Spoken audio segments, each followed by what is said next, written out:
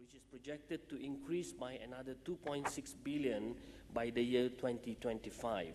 It is also projected that the world food production will have to increase by 75% over the next 30 years in order to ensure adequate supply of food. The 11 ASEAN Food Conference 2009 will certainly provide an opportunity for participants to explore food science and technology innovative approaches and opportunities to maximize the production of primary produce as well as processed food. Innovative approaches are needed not only for maintaining the quality of raw materials, but they are also used for adding value to certain food products.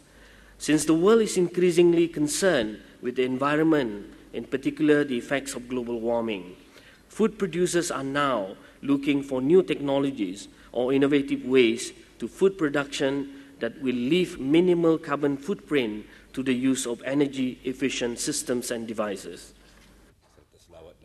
Declaring open the conference was the Minister of Development yang berhormat Pehin Orang Kaya Hamzah Pahlawan, Dato Seri Setia Awang Haji Abdullah.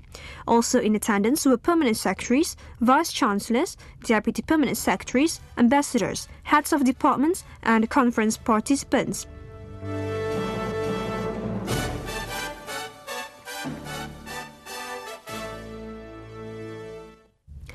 The three day conference began today and is themed Food Science and Technology Innovative Approaches and Opportunities for Global Markets.